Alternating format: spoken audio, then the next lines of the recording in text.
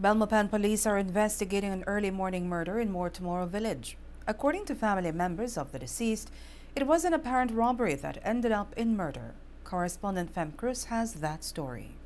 Belmopan CIB continued their investigations into a number of murders here in Ikayo South. The latest being this morning, Thursday, June 4, sometime around 1 o'clock.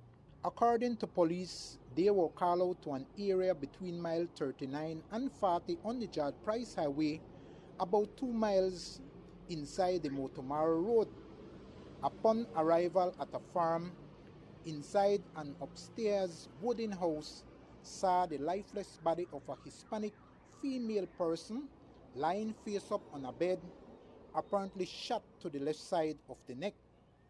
She was identified to be 39 year old Paula Garcia Zacarias, Guatemalan of Orange Tongue. With the permission of the father, Love News spoke to the daughter of the deceased, 15 year old Elisa Garcia, and the owner of the farm, Michael Flowers, about receiving that shocking phone call from the chairman of the village last night like one o'clock we the, the dogs began to bark and then my my father stand stand up and see to out to the window. He saw a car a taxi white. Mm-hmm. And that taxi began to go slow slow and then he began to shoot. And my father told my mommy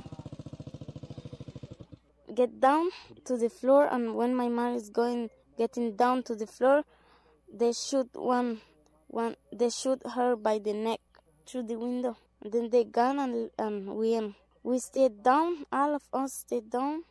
And when when when we do, when we do not hurt heard no noise we get out and see him nobody's there. And I, when i see my mother is is die.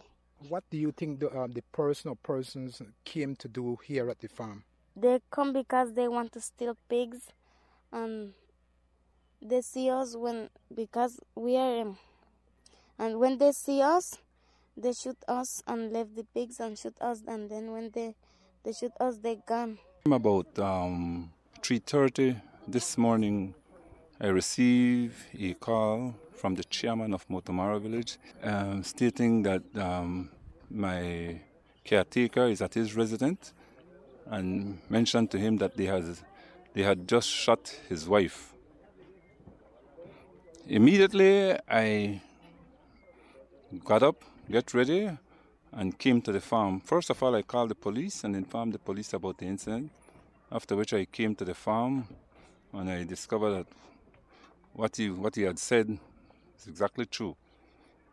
What he did mention through an interpreter to me is that about one o'clock, um, it seems like um, some people came to steal pigs and they put on their light and was about to proceed to come out to see what was going on. And they came straight up to the house before they were even able to come out the house and shut up the house. Of which the wife of the said man who is taking care of my property got shot I'm extremely saddened to hear that.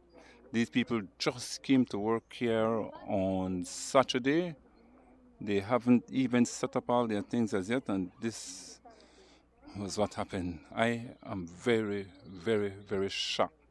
And, my, and, I, and I'm really passionate about my farm. I want to see my farm grow, but this has surely put a damper on what I'm going to do with this farm. This is Brother Fem Cruz reporting from the beautiful village of More Tomorrow for Love FM.